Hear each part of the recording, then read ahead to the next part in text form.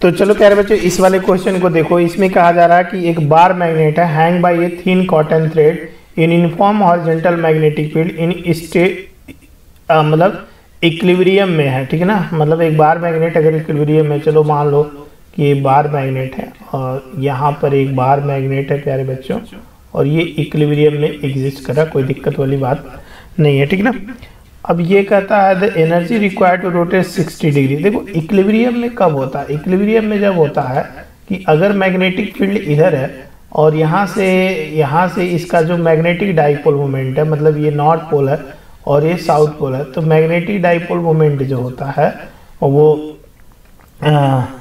North से south magnetic field लाइनें ऐसे निकलती हैं तो जो मैग्नेटिक डाइपोल मोमेंट होता है, वो इधर होता है। तो स्टेबल इक्विलिब्रियम मतलब कुल मिला के स्टेबल इक्विलिब्रियम तब होता है जब आ, कुछ ऐसे मैग्नेट एलाइन होगा।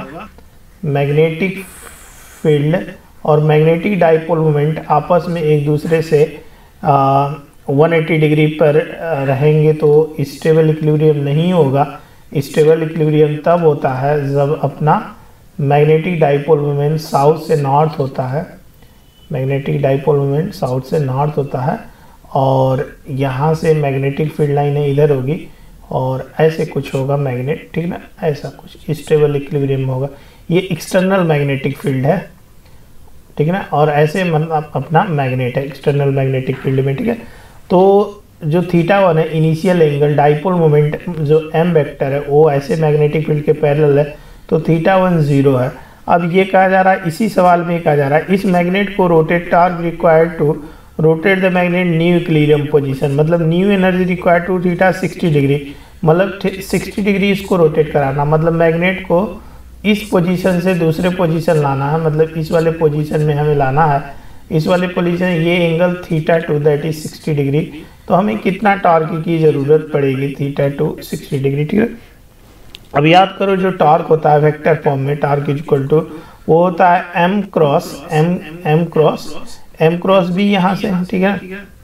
तो अगर देखोगे स्केलर फॉर्म में वो होता है एम बी साइन थीटा ठीक है ना? एम बी साइन थीटा ये होता है। तो this is the torque required equation number first लेकिन इसके लिए हमें एनर्जी भी तो वर्क डन भी तो करना पड़ेगा। एनर्जी कितना कर, कितनी की ज़रूरत होती है तो इसको रोटेट कराने के लिए एनर्जी की भी तो ज़रूरत पड़ेगी।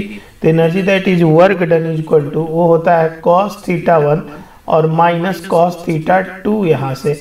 तो यहाँ से जो वर्क डन आ जाएगा द वर्क डन यहाँ से energy required to work done W तो ये जो एनर्जी दिया हुआ है तो एम भी यहाँ से कॉस ज़ीरो और माइनस कॉस यहाँ से सिक्सटी तो कॉस ज़ीरो वन होता है और कॉस सिक्सटी कितना होता है यहाँ से? तो work done W is equal to यहाँ से एम बी यहाँ से कॉस ज़ीरो वन हो गया और यहाँ से minus cos sixty sine cos sixty sine thirty that is one by two यहाँ से आ जाएगा।